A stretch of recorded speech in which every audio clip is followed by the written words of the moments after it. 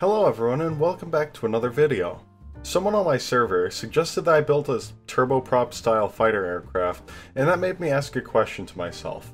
Before I forget to mention it though, I do have a server. If anyone is interested in suggesting builds, being notified about my new videos and productions, or just wants to hang out in general, my server is in the description below. Feel free to join. But that's enough shameless self-promotion for one video. Let's get into the actual idea I had. So, back on topic, basically in the server, it had led to a brief historical discussion of turboprops. Historically, they were experimented on somewhat due to how much quicker they accelerated than a turbine aircraft.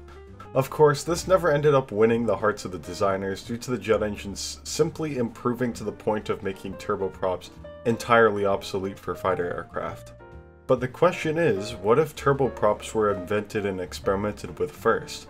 What if, instead of post-war, these turboprops were developed and tested during World War II, or earlier?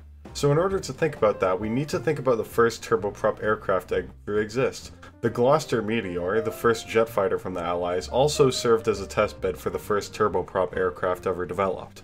Obviously, it was World War II, and the jet engines used were notably inefficient and pretty slow to accelerate. In order to change this, we sort of asked why not just attach an air screw to the front of a turbine engine. First, this developed the turboprop, which had pretty promising results. Fast, quick acceleration, and far more fuel efficient. The turboprop seemed to combine the best qualities of both jets and propeller aircraft. But what if the turbofan was never invented and the jet engine never quite improved from its state in World War II? What if, instead of developing a high-speed afterburning turbofan engine, we stuck with turboprops for a while longer due to all their positive qualities in early testing? Now in this hypothetical universe, I'm not saying jet fighters didn't ever exist or never improved. Just maybe instead of progressing to turbofans and afterburners so quickly, maybe the turboprops or prop fans were instead developed while technology such as radars, missiles, etc. continued to develop as normal. It seemed like a super fun concept for an aircraft, or maybe even for a project overall. It could lead to some very fun workarounds that I'm very excited to experiment with in the future. This could include things such as rocket planes for supersonics instead of afterburners, and maybe most fighters are using turboprops just like this one. So guys, if you like this idea, remember to tell me in the comments. Maybe this alt history series will become more developed. Maybe I can even add things such as countries or factions and multiple builds to fit into it. When rocket planes come to the game, I am absolutely doing another video on this for example. I would absolutely love to do more builds to go along with this in the future. History, lore, companies, politics, it's all up for grabs if I decide to make this a full-blown series. But for now, while I might not be making fictional countries, politics, or anything like that, I do want a fictional aerospace developer for all of our outlandish builds. For those of you who don't know, my name, my channel, is based around my favorite galaxy, Messier 82. Because of this, my fictional aerospace company shall go by the name of Galaxy Aerospace. But way before I get too carried away with talking about my channel and the history of science and turboprops and all that junk, let me just start talking about my build. Let's not make the same mistake as last time. I swear some of my previous videos I just talk about nonsense for like 5 minutes and I only have like 3 seconds to explain my build because the time lapse is too fast. Which, yeah, I know that's kind of my fault and I'm kind of making it worse right now, but that's fine, we'll, we'll, we'll just get on with it now. So anyways, my goal for this build was essentially to include all the technologies you may see on, let's say, a late 50s or early 60s fighter aircraft, for example. Crude IR-seeking missiles, basic radars, high ordnance capability, you get the drill. Imagine technology levels of maybe like the first models of MiG-21 or maybe even an F-4H. Maybe even earlier than that, maybe closer to like an F-104's level of technology.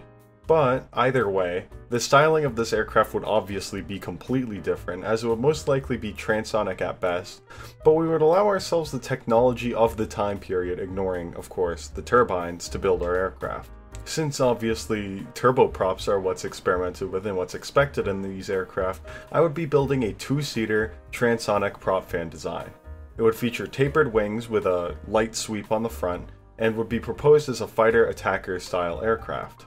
The pilot would operate the aircraft and some of the air-to-air -air systems, whereas the backseat member would function partially as a RIO and maybe even a WISO on some later models of aircraft if things such as air-to-ground ordinances that are guided are included.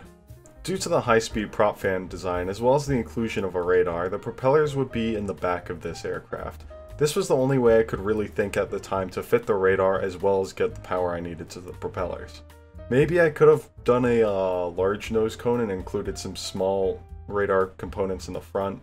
I mean, I know there were some military aircraft concepts that did exactly that, but I honestly thought the backwards propeller was a really cool idea. Maybe some other build in the future on the same alt history timeline will feature a radar similar to the one I just described. But anyways, this back propeller was a little bit problematic. The aircraft we were building was not large enough for full ejection seats, so if the pilot attempted to leave the aircraft, they had a chance of just going back into the propellers, which was obviously quite bad. So I in fact had two things to remedy this. I decided the best choice of action was an escape lever, in which when it was pulled, it would blow off the propellers and the hatch to the canopy. The hatch to the canopy would be in the bottom of the aircraft and the pilots would drop out, similar to the first uh, ejection style concepts on the F-104. It wasn't fully modeled, of course, since ejection and aircraft escape wasn't in flyout, but that was at least the idea. You'll see later as I try to model the jump seats that they don't quite fit, so I settle for a shorter, almost mini jump seat with a roll bar over the top to protect the pilots. Oh, and you know what? Speaking of which, here I go making that seat I was talking about earlier. It's pretty nice, it has cushioning and it has the roll bar, and I quite like it.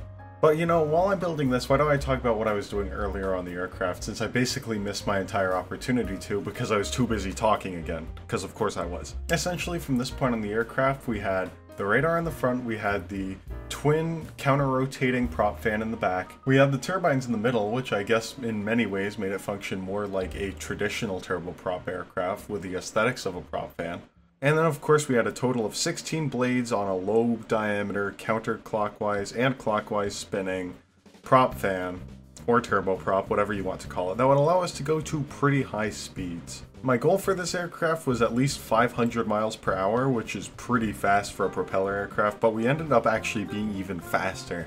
So you know, that's pretty good. We also wanted to include rockets, bombs, and missiles on this aircraft just to simulate all the ordnance it could be holding and its carrying capacity. Think about like the F4 for example, it can bomb, it can do air-to-air, it can do whatever it wants essentially. We also of course included an advanced sensor suite. It has not only IRST but it also has a radar in the front, so it has just about every sensor you could need from the time period, even more advanced than the time period. And then despite the aesthetics of it, you may be interested to find that that tail I made was actually a fully moving all-flying tail. It was vaguely modeled after an F-104's tail, but instead of being a T-tail, it was in between two uh, vertical stabilizers on each respective boom. Of course, I also included those little intakes in the front, as well as exhaust ducting that blows out just before the prop fan. I was thinking about redesigning the exhaust, but I decided against it for the time being. Anyways, here you can see now that both the Jimmies got the seats they wanted, and I am currently building the interior. The interior of this aircraft was quite simple, but ended up taking me a lot of time. Most of the gauges are analog, though we do have some somewhat digital looking things such as the radio. I don't know, I'm probably going to change that later on, but for now it's fine. Also, instead of using the in-game HUD system that I could have used, I decided to use well, nothing actually. I decided to make my own reflexive HUD to represent something more similar to what you'd see on, let's say, an F-104 or an aircraft of the 50s. Instead of having your full attitude and all of your telemetry data, you just would have a simple yellow gun sight and nothing else. The guy in the front seat got a small radar screen, and the guy in the back seat got a big radar screen, as well as some buttons and knobs to play around with, hypothetically simulating what a RIO might do in the back seat. From this point on, it's pretty simple. You see me add some mirrors and some other basic interior options for the pilot. And then I go to the back and complete the radar screen and whatnot for the RIO. You don't see it on camera because I actually need to finish this time lapse in a reasonable time without putting it at 20 times speed. But essentially I do some more work to the outside of the aircraft a little bit later down the road. Essentially it's nothing, it's a, it's a basic uh, paint scheme it's the inclusion of a pitot tube and some other electric equipment. And then it's just smaller, more detailed designing and adding the bombs and adding things like doors for the landing gear bay and just little things like that. But otherwise, with all that out of the way, we were ready to fly and complete our mission objectives.